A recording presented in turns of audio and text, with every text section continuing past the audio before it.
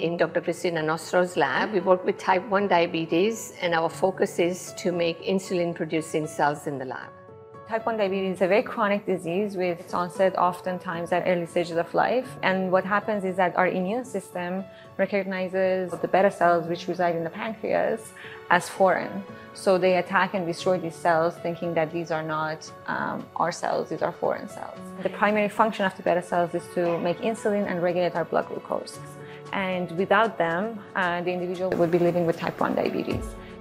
People living with type 1 diabetes rely on insulin injection through needles or pumps to substitute for the absence of these cells. Now imagine if you can actually generate these cells from a stem cell population and transplant them in the person living with type 1 diabetes and eliminate the need for insulin injection. The only long-term therapy that has been tested is transplantation of beta cells from organ donors. This method is unfortunately limited by uh, availability of donors.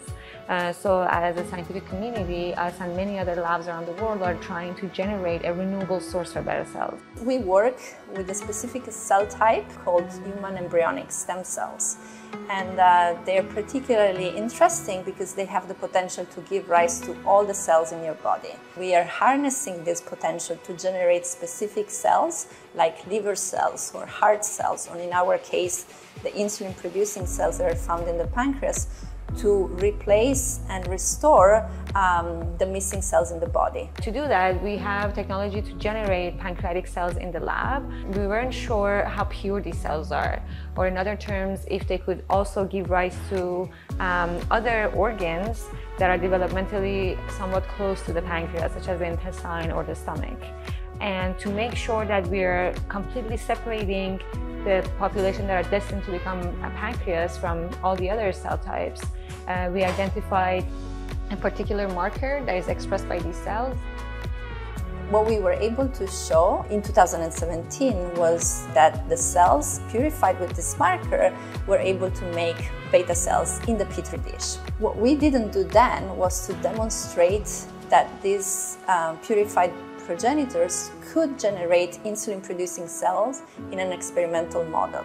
And this is exactly what Yassin Farida worked on recently and we're able to publish this year. To reach this point, you know, we had a lot of um, trials and errors and we had to test multiple different methods that didn't work um, to, you know, come up with this one particular method that, that not only works but it's efficient and it's also reproducible.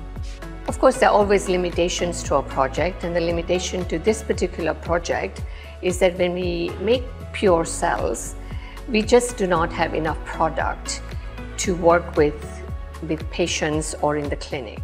The most exciting part about this work is knowing that the cells that we make here at the McEwen Stem Cell Institute could be used in clinical trial.